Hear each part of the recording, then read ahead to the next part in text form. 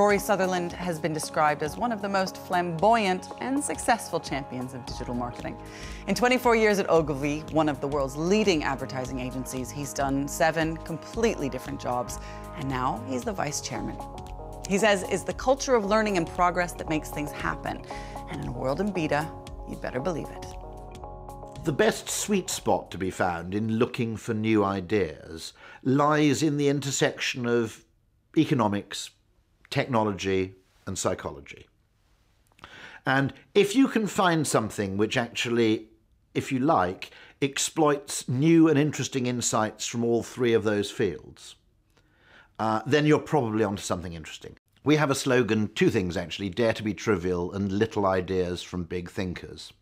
And the reason we make this point is that human behaviour, business, markets are properly defined complex systems. Economics has made bold but frankly, uh, you know, wrong-headed attempts to explain, say, market behaviour or human behaviour as though it were a sort of simple physical system. It isn't, it's complex. And what distinguishes complex systems is the fact that there are butterfly effects. They may be hugely sensitive to uh, you know, initial conditions, or very small interventions can have huge effects. And our argument is that in this beta age, businesses need to spend more time butterfly hunting.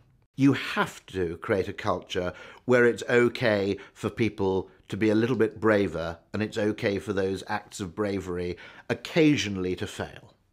If you create that kind of culture, you will discover far more butterflies than someone who um, effectively is operating in a kind of paranoid, self defensive culture.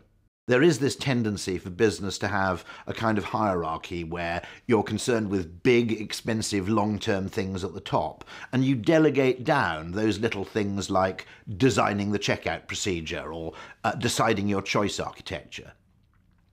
And the truth of the matter is, um, that may be a mistake. The most important business decision you make all year may be to add uh, three different sentences to a call center script. And that, that's what makes complex systems different from simple systems. And to be honest, the digital age has been interesting, not only in what you can do with digital technology, but also in terms of what digital technology teaches you about the behavior of people. And I always argue that in many ways, you know, online behavior is a kind of Galapagos Islands for people seeking to understand how people behave in general. That very small things you discover online can have wider implications for what's happening in the, in, in the non-virtual world.